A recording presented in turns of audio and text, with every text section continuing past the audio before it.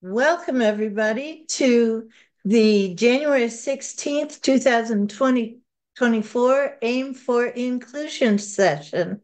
So, this is an eight part series about just the basic basics of accessibility and accessible educational materials.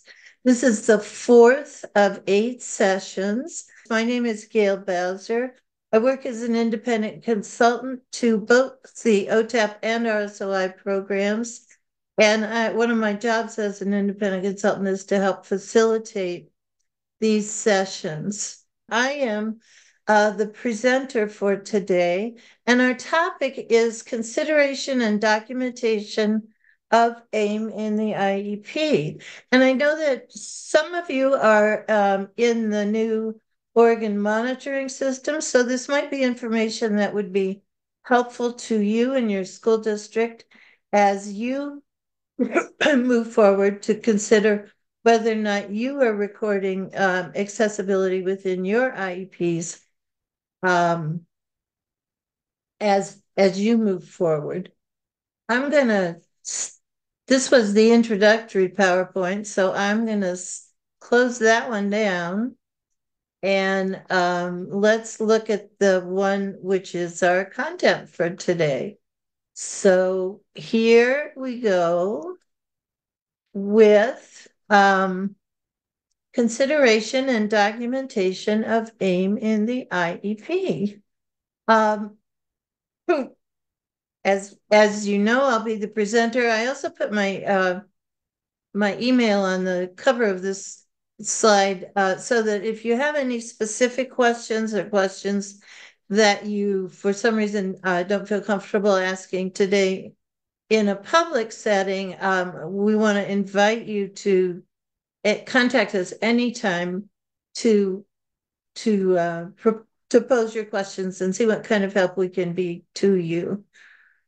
Um, this is my uh, speaker disclosure and mostly what um, what I want to say about this is that I have helped to co-author uh, several publications, the uh, Education Tech Point series, and also some books um, with uh, Cast Publishing. So I get small royalties from those books. And I need you to know that there's nothing in today's content that is uh, specific to those books except that uh, a framework for thinking about assistive technology. But what we are going to show you today is some new information that we've been developing through the work of the AIM cohort and our partner districts in that in that project. Before we get going, though, what I wanted to do was to give you some uh, real basic information about AIM. We've covered the basics of AIM in the previous uh, three webinars from this series, but it's possible that people are looking only at one because they have a particular interest in the topic. So we try and give you just a little bit of basic information about AIM every time we meet. So this is the definition of AIM. It comes from IDEA um, and the Federal Register. And it says that accessible educational materials are print and technology based educational materials, including printed and electronic textbooks and related core materials that are required by state education agencies and local education agencies um, for use by all students. It doesn't matter what format they're in. So what we're looking at is finding the accessibility features that are important for learning and uh, in both elementary and secondary schools as we move forward. One thing I wanted to mention though is that um, the wording in IDEA, the actual wording in IDEA, is accessible instructional materials. And we hit a lucky thing because we are able to say aim in the same way that we used to, to. But the actual IDEA wording says accessible instructional materials, and it had a more limited definition. It really only talked about four specialized formats, which were print, large print, um, braille and digital files. We expected some time ago that IDEA would be revised. And quite honestly, it's a 20 year old law as of this week. Um, so there has not been a revision to IDEA. This footnote that we put in the larger print on this slide is the actual wording that is being used these days by the Federal Office of Special Education Program and by school districts. But sometimes people are a little confused about what's the difference between accessible AEM materials and accessible AIM materials. The main difference is that the newer term, accessible educational materials, um, features way more formats than the original IDEA wording um, said. So we're talking about videos that need to be closed cap or need to be captioned somehow. We need video description on some of our things. Um, those things are now folded into accessible educational materials. This, I want to show you a short, short section of this video also. Um, whoops, sorry. I want to show you that um, because it's a good summary of what are accessible educational materials. It was actually produced by the Georgia Department of Education and then is has been used uh, extensively by CAST and the AEM Center to talk about what are accessible educational materials. I'm not going to show you the whole video because I really believe that you um, probably have a basic understanding of what this says, but I do believe that um, this could be a very valuable tool as you're talking to the people in your district about what are accessible educational materials. And again, you will see that this video um, is just a couple years old, but it still uses that older term, accessible instructional materials. Let's watch just a couple minutes of this video. And then if you're interested, um, you the link is in the in the slide presentation and it's easy just to Google the YouTube video. So let's see what they have to say. Starr's Mill High School and the Fayette County Public Schools in Georgia are working to establish 21st century classrooms to integrate technology into curriculum, instruction, and assessment to support the participation and achievement of all students. By integrating accessible instructional materials and accessible technology in the classrooms for all students, students with disabilities benefit from the flexibility and supports provided and often need only limited or no other accommodations. They recognize that print textbooks represent a fixed medium, one size fits all, which is not accessible to many students with disabilities. To meet the needs of all students, content is provided in flexible digital media, which is available via technology and can be adjusted as needed. To ensure the provision of accessible materials, Georgia law requires that publishers of recommended learning resources or textbooks provide an electronic version of each student edition. Audrey Tony, the principal of Starr's Mill High School, like other principals, sets the tone for the staff and student body. She describes how they work to make sure that accessibility for students with print disabilities is considered in the textbook procurement process. Every time we have a adoption in place, the teachers that are on the committees, the coordinators and so forth that are on the committees, they're going to always look to see what else does that company bring before we make that adoption. If the company, of course, at this point only have a hard copy, chances are we're not going to adopt that series. Our exceptional children services are always part of those adoption processes. So they're able to also tell the teachers and the companies of their needs as well. There are two key elements of accessibility that must be in place accessible content and accessible technology. The assistive technology specialist describes some of the technology included in the 21st century classroom. So each classroom has a projector, it has a smart board or a screen. There is a way for the teachers to save their lessons. Okay, so I'm going to stop this video now. The assistive technology specialist that you heard speaking um, is actually going to go into a fair amount of detail about how um, their school addresses accessibility for all students. There are a couple things I wanted to mention out of this video clip. One is that they are talking about all students. So this school is actually taking a universal design approach to accessibility. They want everything to be accessible to all students, uh, whether they have an identified IEP or not. And that's that's a decision that schools are making in many different ways across the country. Um, I really liked the term fixed medium when she when the narrator talked about books as being fixed medium, what that means is that it really only applies to one format. You can either read from print or you don't read from print. And we know we have lots and lots of students in our schools who are on various uh, places on that continuum of being able to read well from print or not being able to read at all from print.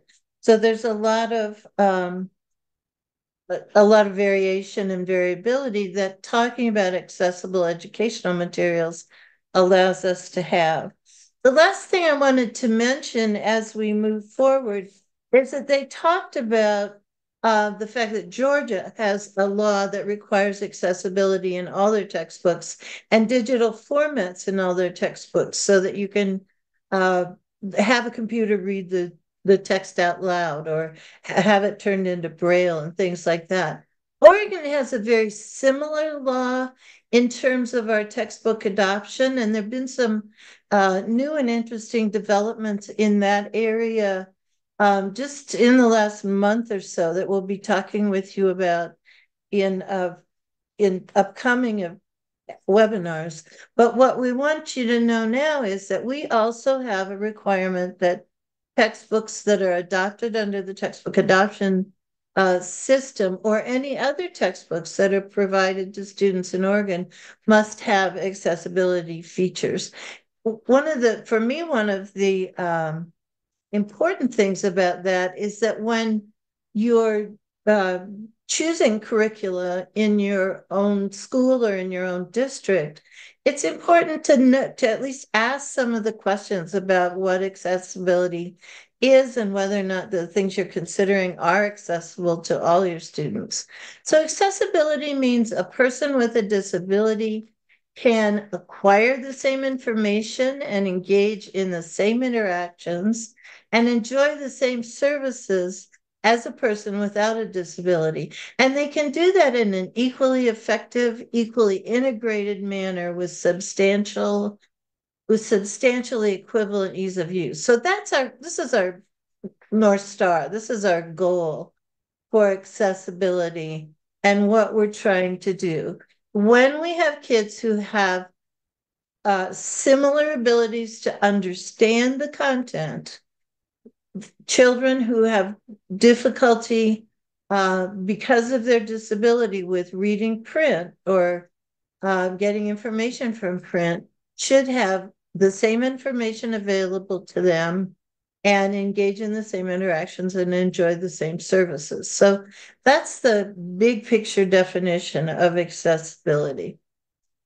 Here's our rule about Oregon accessible educational materials. Schools districts must ensure the timely provision of print and instructional materials, including textbooks that comply with the NIMAS standard, including textbooks that uh, the NIMAS standard is an accessibility standard. Um, and it's for students who are blind or print disabled according to the OAR. And it, then the second part, the part that's highlighted in red here, says school districts must ensure the timely provision of instructional materials in accessible formats to children who need instructional materials in accessible formats, including those who are blind or print disabled. One of the reasons I put this up is because there's some misunderstanding that accessible educational materials only applies to students who are blind or blind. And that is absolutely not the case Um, we're talking about any student who has an accessibility issue. Um, so it could be kids who have a physical disability, who have trouble turning pages or something like that. Um, so the other thing that's important in this particular cita- citation, this is an Oregon administrative rule, is um, the idea of timely manner. And in Oregon, timely manner is defined as at the same time as other kids get their textbooks. So if we have a student who um, has a, a, learning disability and the team has decided that what they need is uh, text to speech, they need the computer to read the text out loud to them, they should be getting that file at the same time that the teacher's handing out textbooks to everybody else. So they should be able to access the information in those textbooks at the same time as other kids. And that is how we define timely manner in Oregon and also in almost every other state in the country.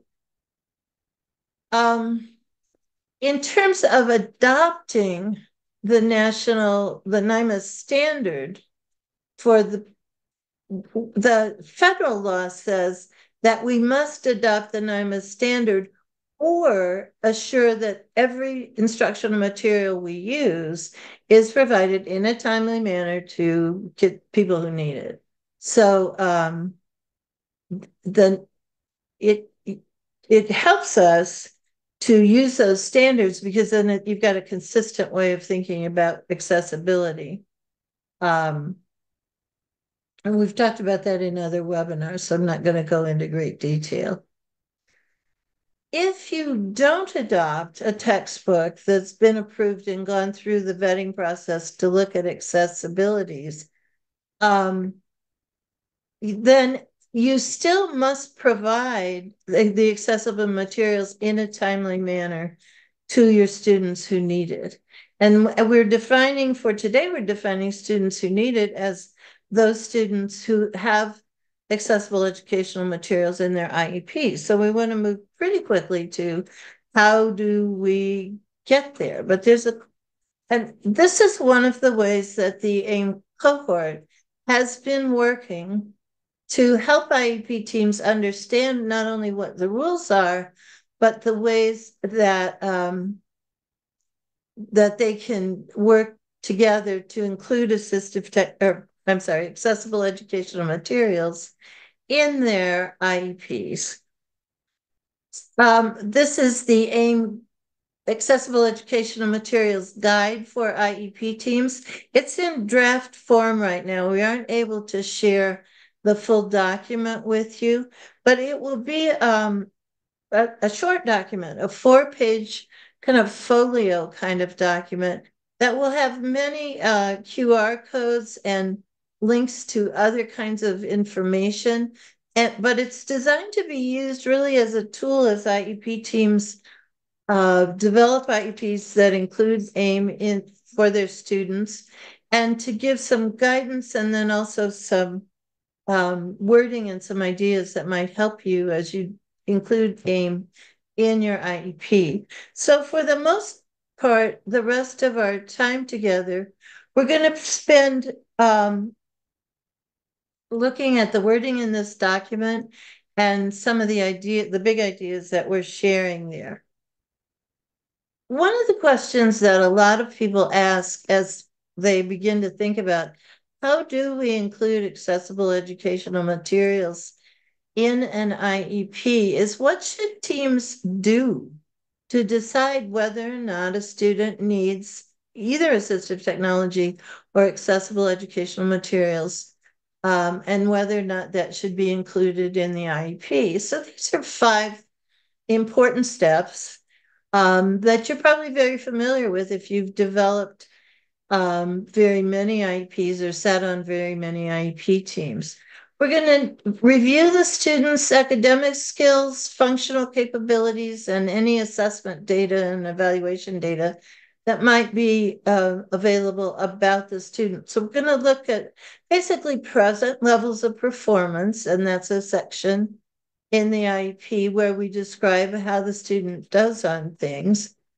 Um, but in the present level statement, we might be saying some things like, um, Nathan can't understand or can't read the, the science textbook well enough to actually benefit from instruction in the science classroom or can't read the science materials. So we may be spe specifying particular places in the IEP where a student might end up needing accessible educational materials. Once we describe the student's performance, we're going to develop annual goals. This is a process, you know, uh, goals, objectives, and benchmarks if necessary. Um, we're going to examine the tasks that the student is required to do and how they're doing those tasks, whether they're making progress. We're going to evaluate the difficulty of the task for the student and their ability to perform them. And then we're going to identify the services and supports, including AIM and assistive technology that might help the student to participate and achieve. This is a basic IEP development process. What we want to talk about a little bit differently today, though, is as we begin to look at a student's ability to complete the tests required in the curriculum, sometimes the reason they can't complete the test is because they need additional specialty design instruction. But other times, the reason they can't complete the task is because there's something keeping them from getting the information from the educational materials that are being provided to them. And if that's the case, as we evaluate the difficulty and the student's functional ability, we may be considering accessible educational materials. Um, so once we have sufficient knowledge, once the team has sufficient knowledge, skills, and information, they decide whether a student needs AT or AIM to receive FAPE. Is it additional or different kind of instruction that's needed? Or is it AIM or AT or other accommodations or modifications that will allow the student to have access to and learn what um, what is is involved in the curriculum. And then we're going to integrate that into the IEP. Our focus today is really about the um, the way that IEP teams integrate AIM into IEPs. But one of the things that we know is that there are a lot of myths about um, integrating AIM into IEPs. And I wanted to give you a few that we see as common myths and then ask you if you have any myths that you're thinking of as you um, work with IEP teams that are including AT or AIM in their IEPs. So one of them is if you use a UDL approach to um, instruction in your school district, one like you saw in the Georgia video, you won't need to have accessible educational materials.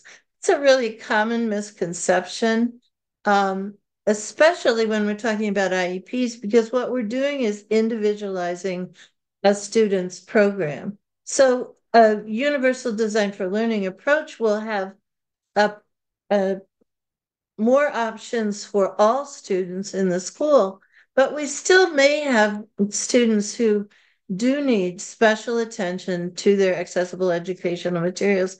The one that obviously comes to mind most frequently is students who are blind or visually disabled, uh, visually impaired.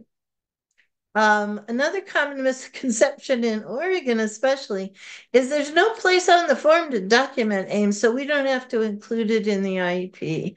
And that's just not true. We're going to actually look in a minute at the uh, wording in the Oregon sample IEP document and in the Oregon um, guidance that tells us that we now have a factor G um, in the special the special factors consideration area, and that factor G is the need for accessible educational materials.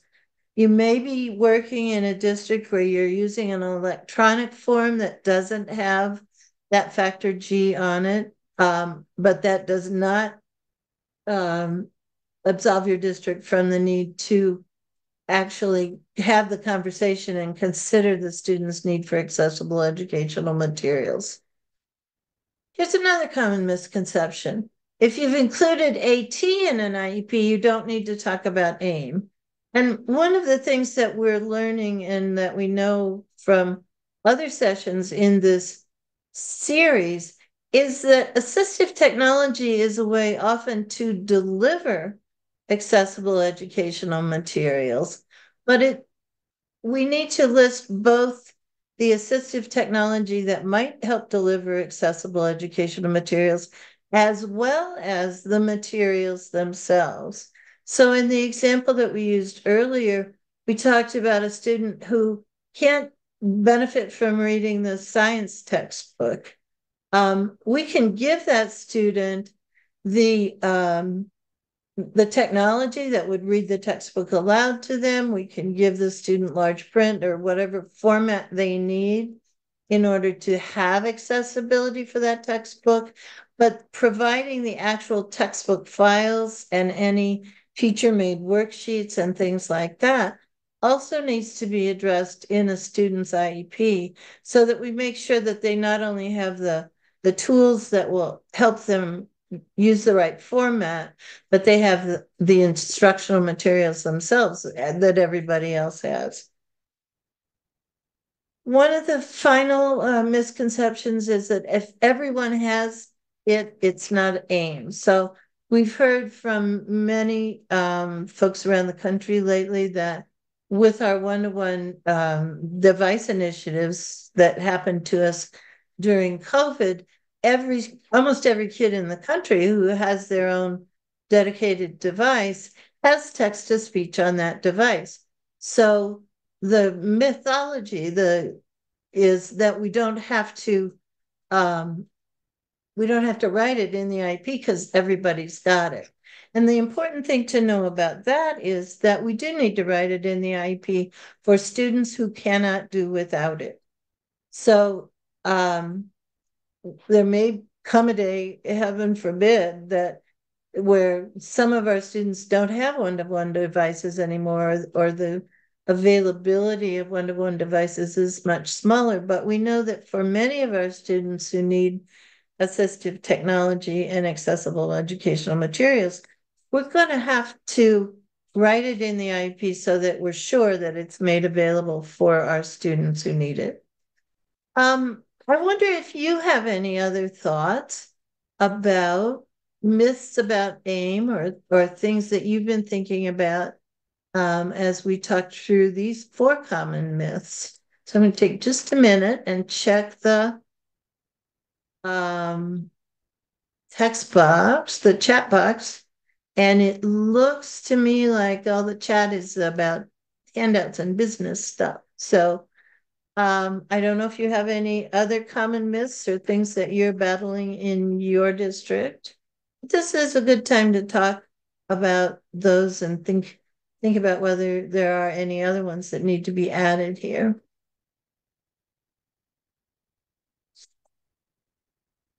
If not, let's go ahead and move forward.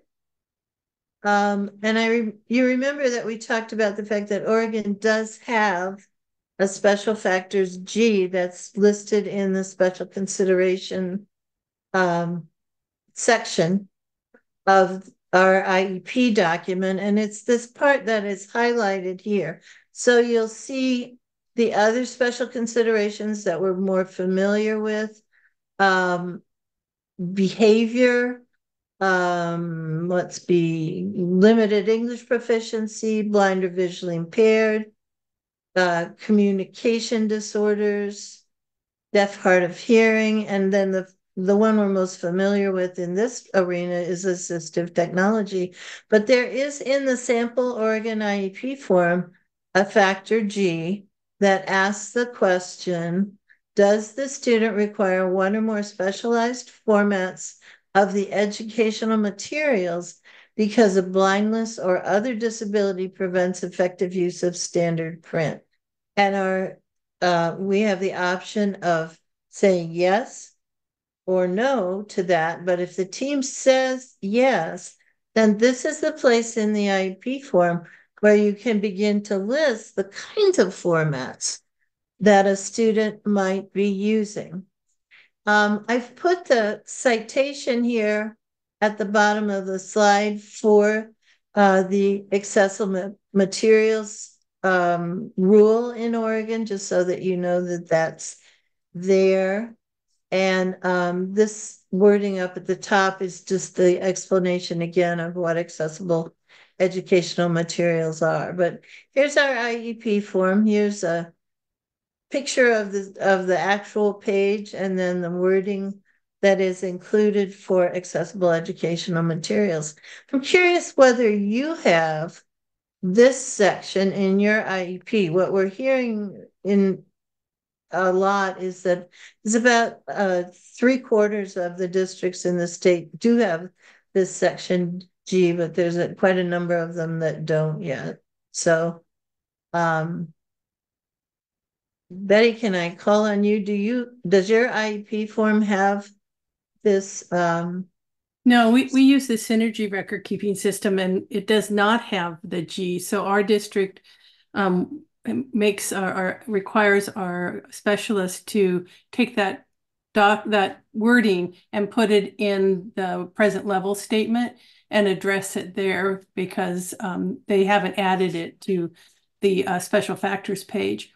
The other option is if we've marked yes on assistive technology, which is on the special factors page in Synergy, we add the statement there and address it there. Okay, so you are addressing it and you've had to do some workarounds for um for the Yes. synergy system. Yeah. We're hoping that some of those changes will happen soon in the electronic systems, but we do know that they're hard to change. And so I love hearing your your solution for what do we do instead that makes sure that we do address AIM in your in our IEPs. Um, and then here's again some wording from the Oregon Department of Education. Though some electronic IEP forms do not include factor G, the district is not relieved of its responsibility to provide AIM. So Betty's given us a great way to, to think about that. One of the things that's happening to the, with the AIM cohort is that we're getting a lot of frequently asked questions. So one of them is this one. When an IEP considers AIM, what kind of data should be used to decide the student need? And uh, you heard Betty mention present levels of performance. That's an important factor in deciding whether or not you're going to provide accessible materials to, to an individual student. And also then evidence about the need and benefits of AIM that's of the aim that's being considered.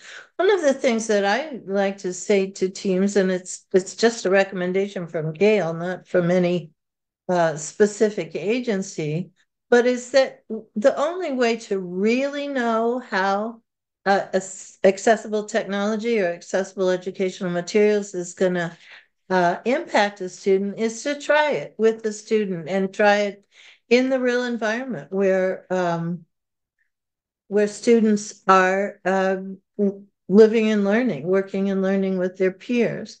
So database decisions, I think, are critical to um, to making those kinds of aim decisions. If I were a case manager and we got to that part in the IEP, one of the questions I would be asking was, what data do we have about how the student performs uh, when they use uh, when they try and read with print, how, you know, how fast, how many words do they get right? What's their comprehension level?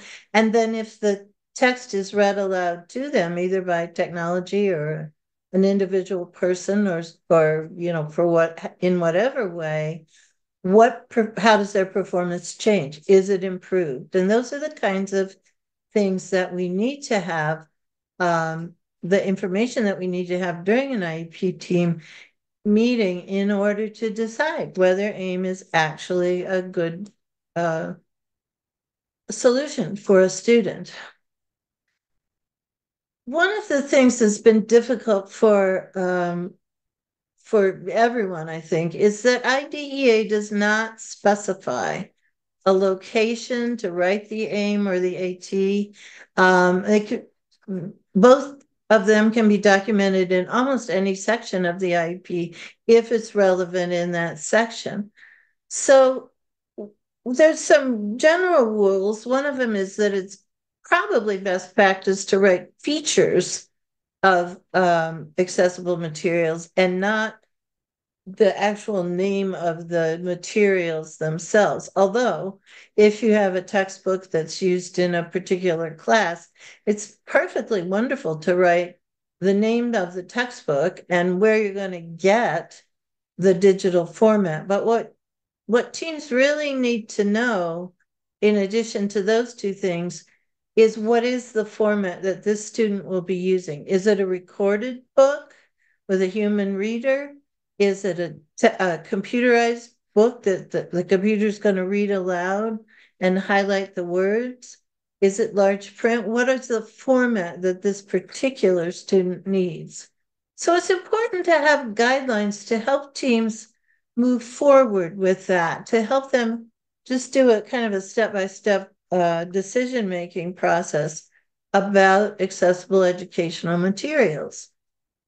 Um, this is a list of the places where accessible educational materials could be included in your IEP form. There is no guidance at all from either our state or from the federal government about how to write it specifically. So what we want to do is try and list the accessible educational materials wherever it makes sense.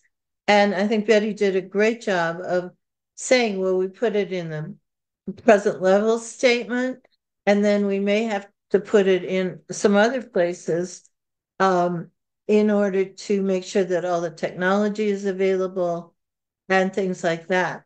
Also, it's important if you're going to, if a student's going to use accessible educational materials in a state assessment, if they're going to need those accessibility features in our state assessments, those must be listed in the IEP um, if they aren't already listed in the test administration manual, so that everybody knows that yes, the student's going to use it in a classroom, but they're also going to use it when they take the statewide assessments.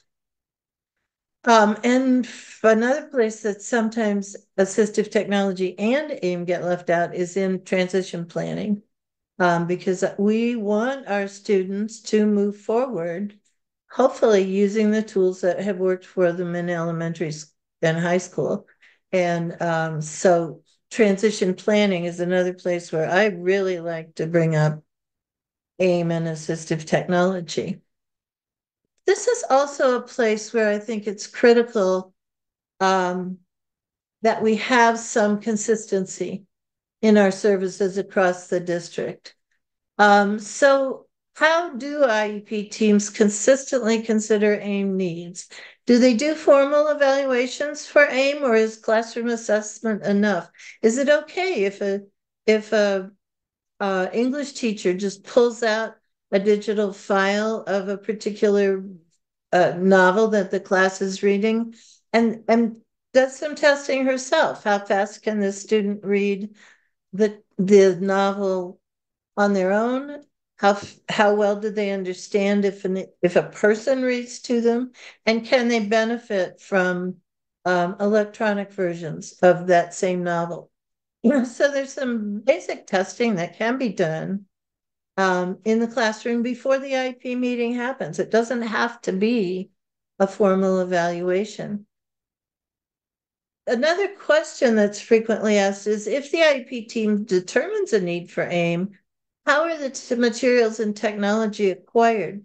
And that's going to be on a case by case and often even a school by school uh, basis, the answer to that question. And, and then another question that has to be done on a case by case or school by school basis um, or a in the is if the IP team decides AIM is not needed, how should that be documented? If the team says, well, we talked about it and we think maybe someday he might benefit from um, a particular form of Braille, but right now he doesn't know read Braille well enough to uh, to use it, so we're not going to do it. Where do you document that decision in your IEP? Now, again, I mentioned to you that there's um, no federal guidance or state guidance about that level of detail in writing IEPs. And so, what we hope is that school administrators and case managers and and folks like that will ins- create some guidelines and maybe even some samples that help teams understand how they do things. I love that Betty was able to say, well, this is how we do it in our district. And I hope that most IEP teams will be able to say that. Guidelines give us um, some assurances that our IEPs are legal and efficient and effective, that they're responsive to all of the students and the and the parents uh, who are interested in having assistive technology.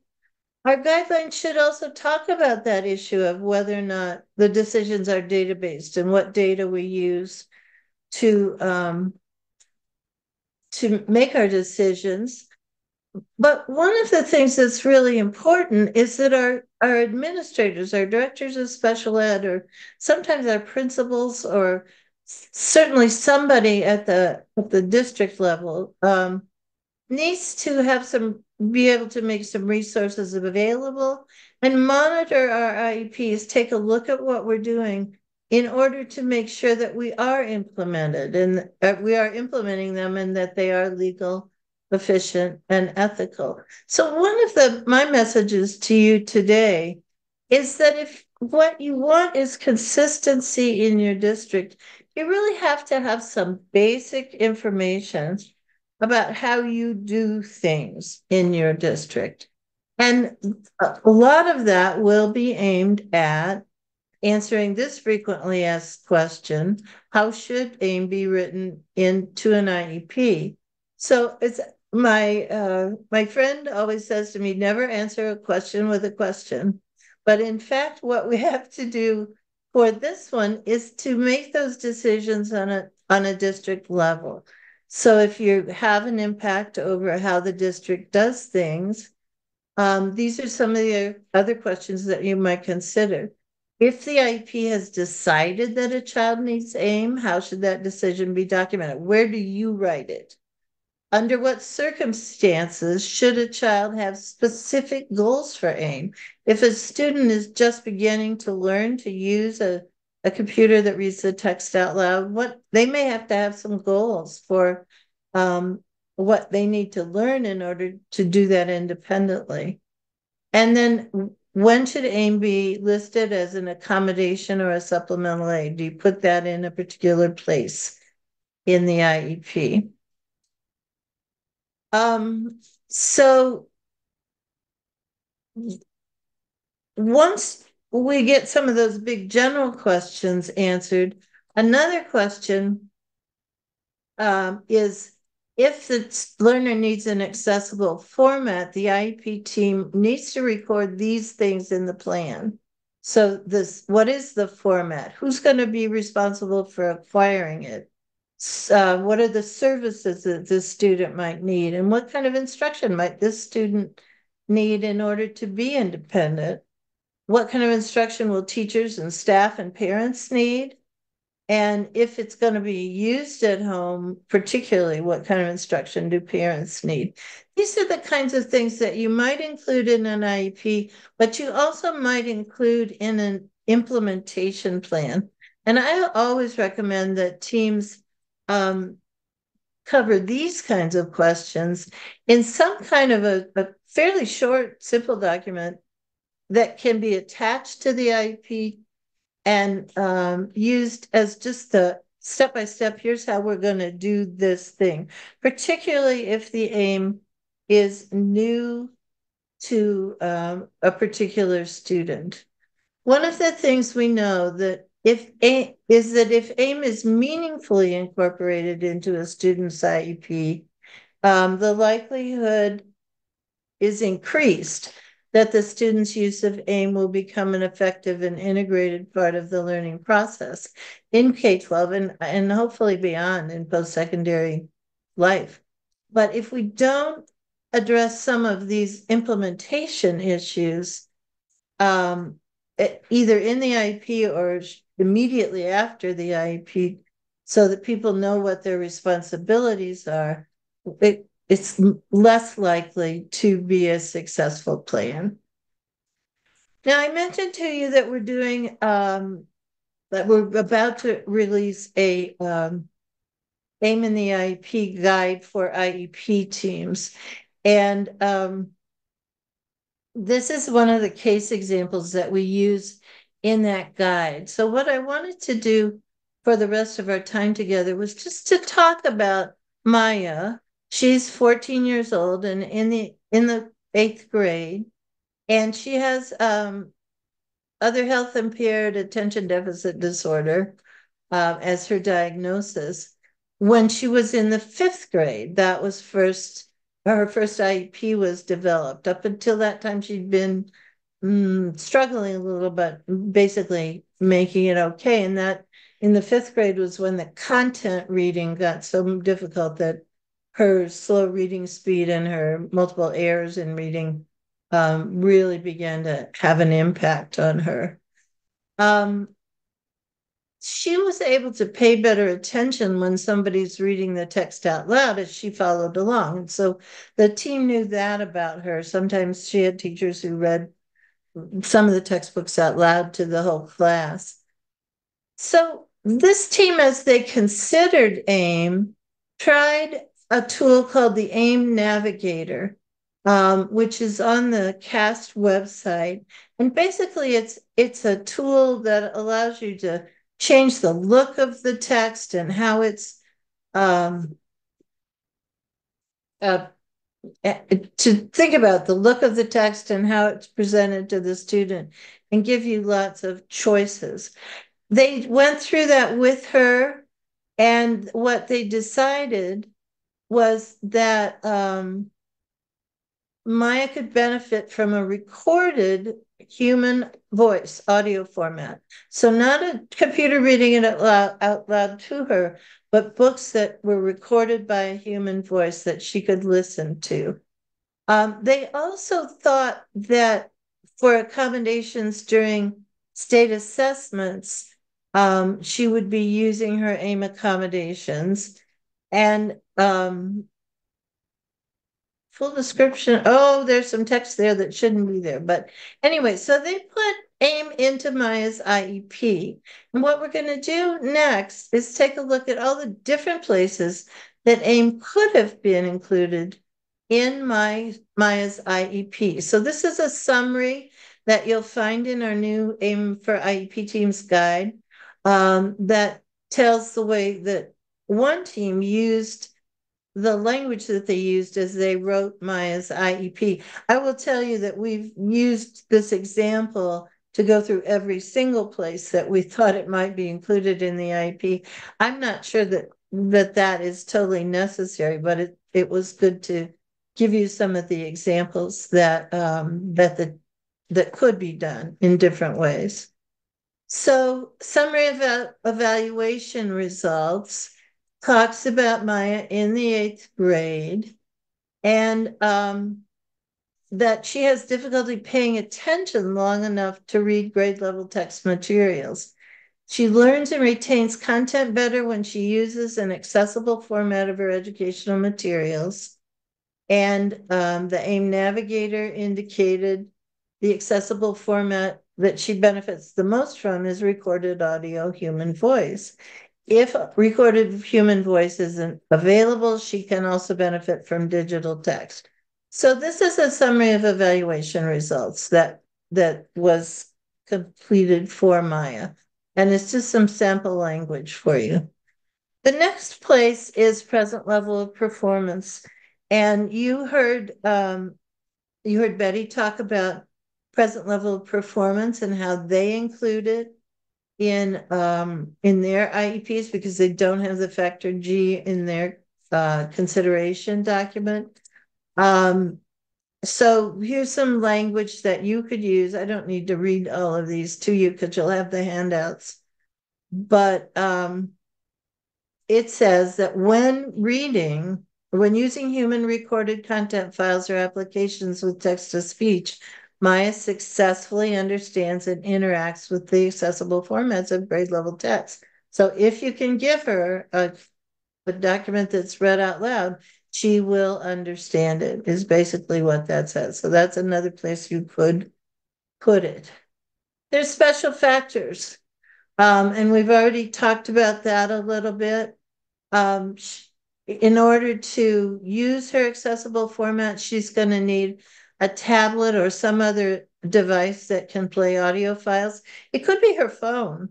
And we, um, I'm not going to say specifically what it is in this IEP document, but in that implementation planning um, activity that we talked about, we will say more specifically what it is. We don't say it specifically here because it might change over time and we don't want to have to have new IEP meetings every 20 days.